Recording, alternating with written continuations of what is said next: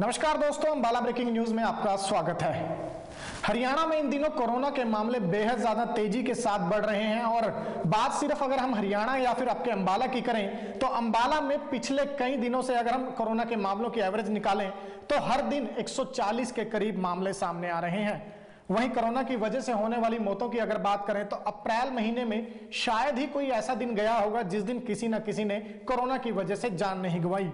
वहीं अगर देश की बात करें तो देश के कई राज्यों में कोरोना की वजह से ऐसे हालात बने हैं कि वहाँ पर लॉकडाउन की चर्चाएँ चलने लगी हैं नाइट कर्फ्यू लगा दिए गए हैं।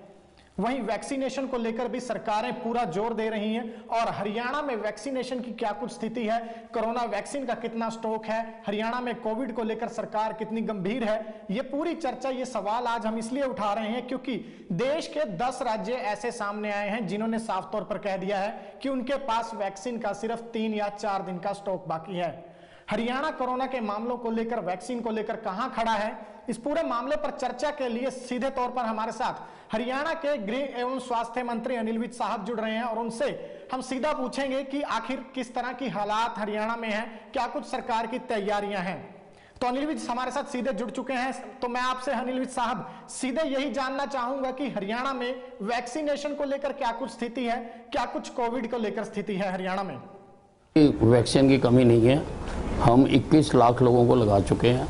और हमारा टारगेट है कि अप्रैल के महीने में हम 35 लाख लोगों को वैक्सीन लगा दें।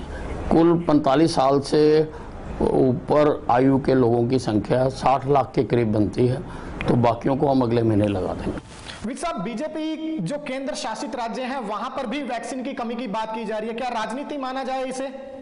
नहीं ऐसा कुछ नहीं है। जैसे जैसे वैक्सीन आती जा रही है और केंद्रीय स्वास्थ्य मंत्री हर्षवर्धन जी ने सबको आश्वासन दिया है कि वैक्सीन की कहीं भी कमी नहीं आने दी जाएगी। कोरोना की दूसरी लहर बेहद ज़्यादा तेज़ी से बढ़ रही है। दोषी किसे मानते हैं? क्या कारण मानते हैं दूसरी लहर की इस तरह से बढ़ने का? नहीं इसमें जो दूसरी लहर है मुख्यतः लोगों का इसके प्रति जो गंभीरता दिखानी चाहिए वो वो नहीं दिखा रहे हैं। और जो एहतियात बरतनी चाहिए जो कोरोना प्रोटोकॉल है उसको जो अमल में लाना चाहिए, वो वो नहीं कर रहे हैं। इसलिए हम लोगों से बार बार आग्रह कर रहे हैं कि आप खुद के शासन से, खुद के प्रयास से आप इन नियमों का पालन करें। नहीं तो फिर हमें सख्ती करनी पड़ेगी और हमें सख्ती करने के आदेश देने पड़ेंगे।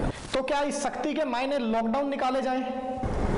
नहीं सभी उपायों पर विचार किया जाएगा, क्योंकि हमें हर हालत में इस बीमारी से लड़ना है। अभी हमने लॉकडाउन के बारे में कुछ सोचा नहीं है, लेकिन अगर आवश्यकता पड़ेगी तो विचार करेंगे।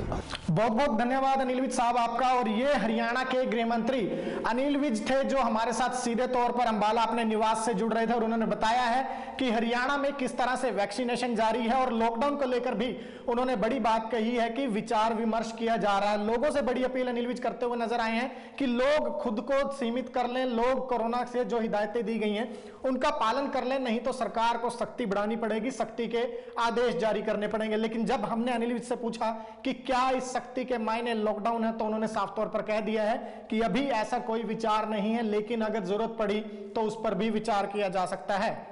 कोरोना को लेकर आप लोगों की क्या कुछ राय है, उस पर भी हमें कमेंट बॉक्स में ज़रूर बताइएगा। अपडेट लगातार आपको देते रहेंगे, जुड़े रहिए हमारे साथ।